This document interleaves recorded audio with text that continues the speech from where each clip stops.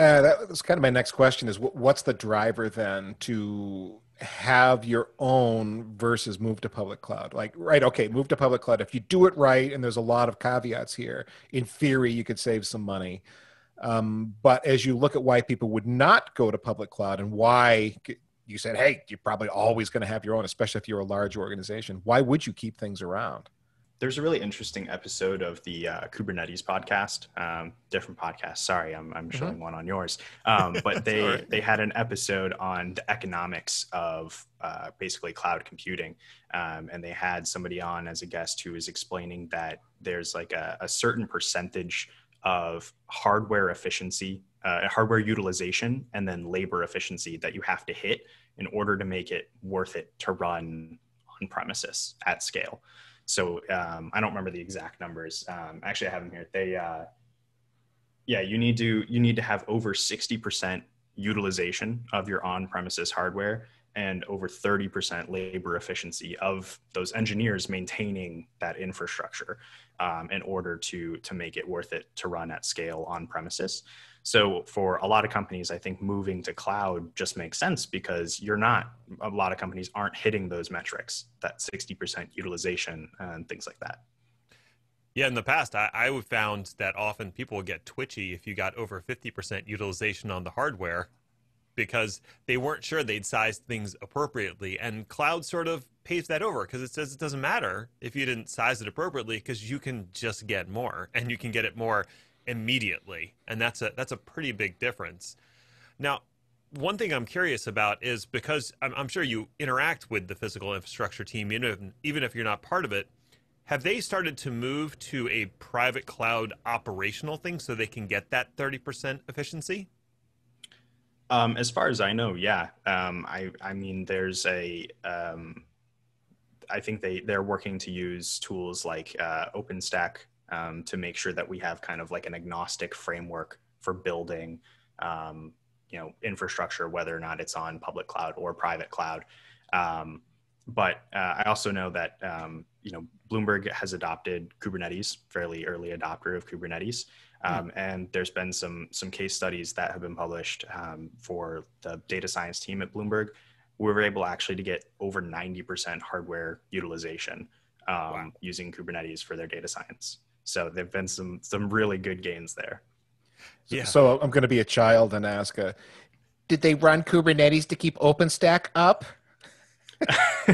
I couldn't tell you that, but I think it was more for for uh, scaling and, and making it easy for for the data science team to to yeah. run their um, you know use Kubeflow to run ML models and stuff like that.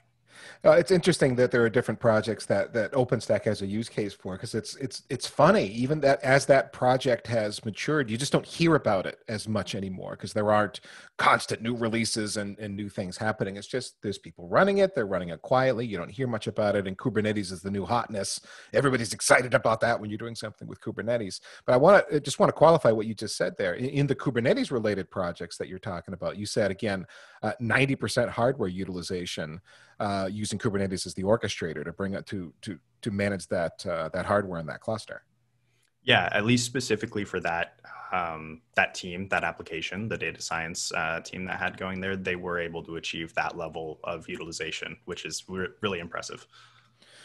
Although I think a part of that's going to be not just Kubernetes, it's going to be how the application was architected because Kubernetes is only standing up containers uh, and so on. So th- there is an implication there. The app was able to be used by Kubernetes in such a way to get that level of utilization. Yeah, definitely. Uh, but Kubernetes does help since you can you can pack, uh, you know, instead of having one VM and then one application running on that VM, you're able to pack a single VM with as many containers as the orchestration system can fit in there based off of their resource requests. Um, so it, it, it's not necessarily a, a, thing that if you use Kubernetes, you will see these massive yeah. gains in, in utilization, um, but it can help, uh, especially um, by using it. Right. I think of sort of the fact that if you were running VMware before, it had an orchestration component that would move move VMs as needed and also try to spin up things. Uh, but you were you were limited to the size of a VM, which is much bigger than the size of a container. So you've you've shrunk down that unit of expansion, and now you can kind of plug it in all these places where a full VM might not fit anymore. Yeah, and throw uh, automatic, you know, like horizontal auto scaling into that, and cluster auto scaling, and and now it makes it a lot easier to uh, try to always operate at a higher level of utilization than you know normal. Like you said before ethan that people were uh, you know balking at 50% utilization. Mm-hmm. now you can have a much higher percentage threshold be your normal. Right. So since we're on the kubernetes train uh, i'll just keep going with that a little bit it sounds like you're running it on premises. Are you also running Kubernetes in the cloud? And if so, are you doing it in a managed capacity using something like EKS or AKS, or are you sort of managing your own clusters? Yes to all of the above. Okay. all right. so, why would you choose to use one of the managed solutions versus building your own cluster? Um, mostly, I think it's just because we don't necessarily want to have to spend the time to be cluster operators. Um, if you can use one of these managed services, um, you still get a lot of the benefits of using Kubernetes, but without having to manage and operate the control plane, um, which can save you a lot of headache. Right, sort of the same reason that you use cloud, because you're exactly, not responsible yeah. for the control plane. What would be a situation where you would use build your own cluster instead of uh, instead of going with one of the managed services?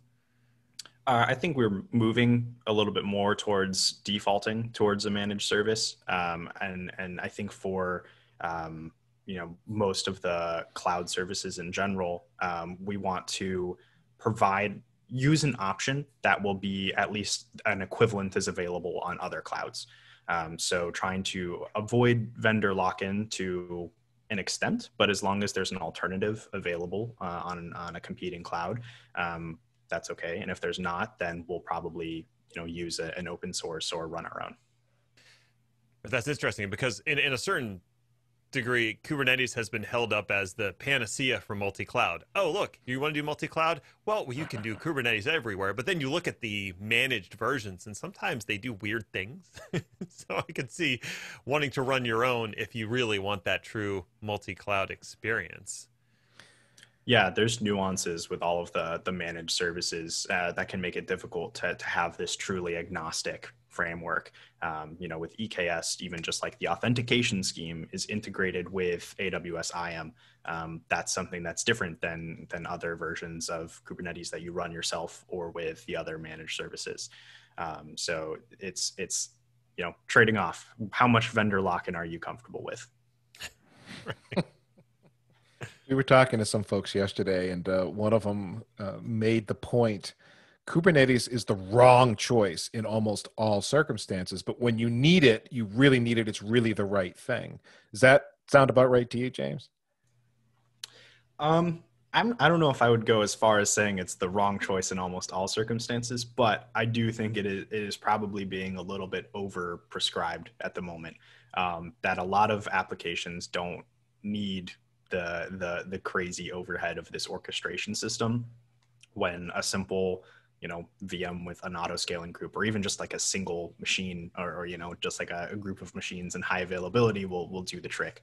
Um, you don't necessarily always need the containers. Um, when you add something like Kubernetes, it's it's not simple. It's not a simple framework. It's yep. very complex, and the tooling around it is complex. And so you're adding a lot of overhead um, just to the mental model of how everything's working, alongside the actual complexity of um, you know running your application like that.